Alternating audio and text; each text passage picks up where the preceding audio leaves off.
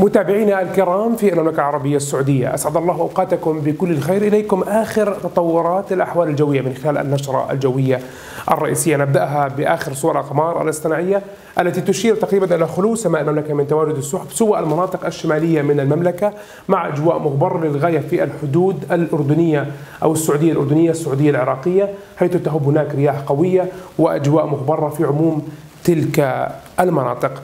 طبعا من المعلوم ومن المعروف بأن المملكة على موعد مع التأثر بأحوال جوية غير مستقرة خلال عطلة نهاية هذا الأسبوع. تتمثل أولا غدا الجمعة بارتفاع لافت على درجات الحرارة في عموم المناطق الوسطى الجنوبية الغربية والمناطق الشرقية من المملكة.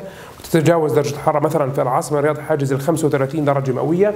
لكن يوم السبت يتوقع أن يطرأ انخفاض حاد وانقلاب جذري على الأجواء إثر توغل كتلة هوائية باردة إلى المناطق الشرقية والوسطى من المملكة وبالتالي يتوقع حدوث انخفاضات متتالية وملموسة على درجات الحرارة بمشيئة الله تعالى.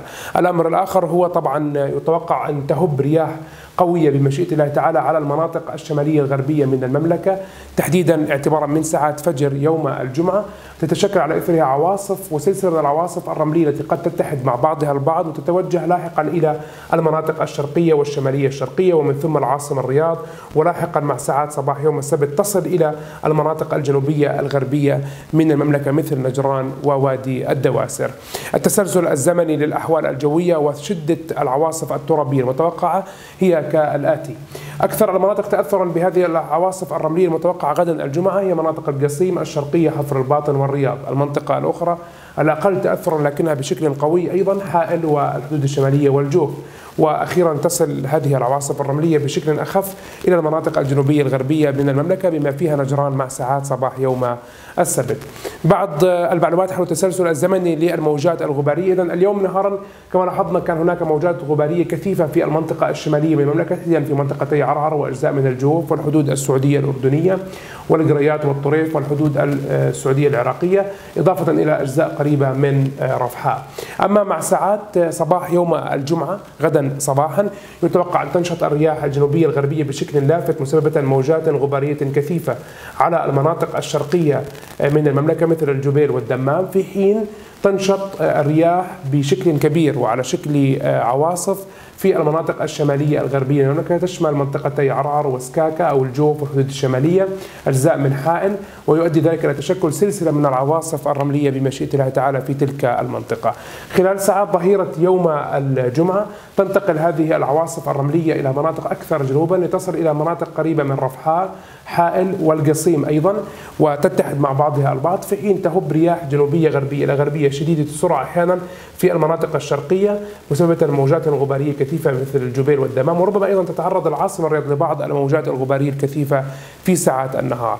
مع ساعات المساء يتوقع أن تتحد هذه العواصف الرملية جميعا مع بعضها البعض وتتجه إلى العاصمة الرياض والمناطق الشرقية ويتوقع أن تكون مصحوبة بهبات قوية من الرياح وتدني كبير لمدى الرؤية الأفقية بمشيئة الله تعالى. أما في ساعات ليلة أو صباح يوم السبت يتوقع بمشيئة الله تعالى انتشار هذه العواصف الترابية والرملية إلى جنوب غرب المملكة وادي الدواسر ونجران والإحساء شرقا بالإضافة للبحرين وقطر والإمارات واستمرار هبوب الرياح الشمالية النشطة المثيرة للغبار على الجبيل والدمام وربما أيضا أجزاء من الرياض. المخطط الزمني أيضا للعاصمة الرياض وكثافة الرمال والأتربة المتوقعة. إذا هذا يوم الخميس نلاحظ أن مستوى الرمال خفيف يرتفع تدريجيا نهار يوم الجمعة ليصل ذروته مع ساعات ليلة الجمعة على السبت ويتراجع بشكل تدريجي نهار يوم السبت بمشيئة الله تعالى.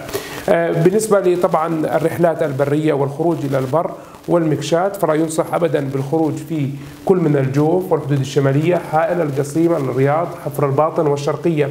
في حين يعني يعتقد بأن منطقتي نجران ووادي الدواسر تكون بها ظروف غير مناسبة اعتبارا من ساعات صباح يوم السبت في حين تكون الظروف مناسبة في المناطق الغربية من المملكة مع الانتباه من اضطراب البحر البحر الأحمر بشكل تدريجي.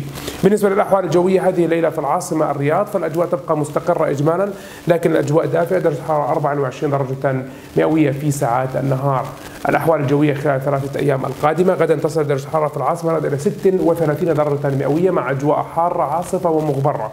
وعاصفة رملية متوقعة في ساعات الليل درجة الحرارة 16 درجة مئوية. تراجحات في درجات الحرارة ليلة يوم السبت.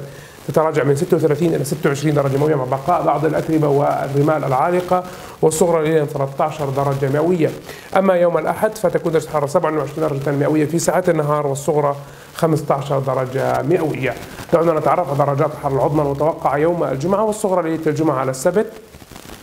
نبدأها شمال من سكاكا 20 إلى 8 مع أجواء عاصفة مغبرة كذلك أمر عرعر من 20 إلى 8 وأتربة مثارة في تبوك من 22 إلى 9 درجات مئوية. المناطق الغربية في جدة 32 إلى 23 بعض الأتربة المثارة في المدينة المنورة 34 إلى 17 37 درجة مئوية متوقع في مكة المكرمة نهارا وصغرى 23 في الطائف من 28 إلى 16 درجة مئوية. في جنوب غرب المملكة تكون في أبها من 26 إلى 15 مع احتمال أمطار رعدية. 23 13 في الباحة و31 إلى 25 درجة مئوية في جازان. شرقا في الإحساء تكون درجة الحرارة من 39 نهارا 16 درجة مئوية في ساعات الليل. إذا تقترب من 40 درجة مئوية في كل من الإحساء والدمام. مع أجواء عاصفة مغبرة في هذه المناطق 39 18 في الدمام و33 إلى 11 في حفر الباطن. المناطق الوسطى من المملكة تكون في الرياض 36 إلى 16 مع أجواء عاصفة ومغبرة. 36 إلى 12 في بريدة و29 إلى 7 درجات مئوية في حائل مع أجواء أيضا عاصفة ومغبرة. قبل الختام جملة من التنبيهات والتوصيات الهامة بشأن الأحوال الجوية السائدة والمتوقعة أولاها الانتباه من شدة سرعة الرياح وضرورة تثبيت المقتنيات الخارجية الانتباه من مخاطر ارتفاع مستويات الغبار في الأجواء وبالتالي أيضا من مخاطر تدني مدى الرؤية الأفقية أو ربما انعدامها بسبب العواصف الرملية للمزيد يمكنكم تحميل تطبيق طقس العرب ليصلكم كل ما هو جديد دائما بشأن الأحوال الجوية في المملكة. دمتم دائما بخير ومحبة. إلى اللقاء.